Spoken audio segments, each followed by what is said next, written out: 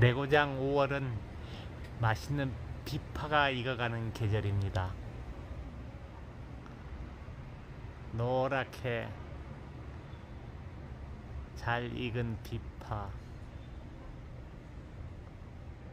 먹고 싶어 침이 꼴깍 도네요.